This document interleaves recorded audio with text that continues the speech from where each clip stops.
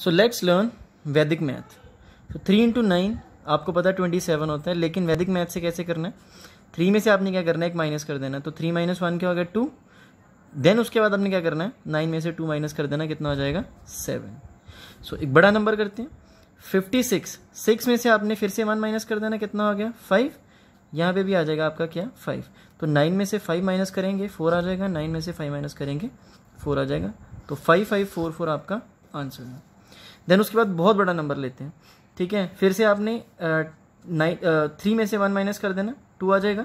बाकी सारा नंबर जो है वो same nine eight seven six अब आपने क्या करना है? नाइन में से सिक्स माइनस करेंगे थ्री नाइन में से सेवन माइनस करेंगे टू नाइन में से एट माइनस किया वन नाइन में से नाइन माइनस किया ज़ीरो नाइन में से फाइव माइनस किया four nine nine minus five four five and nine minus two seven ये आपका आंसर आ जाएगा। और लास्ट है फिर से टू में से वन माइनस करेंगे two minus one one two ऐसे आ जाएगा थ्री ऐसे आ जाएगा वन ऐसे आ जाएगा।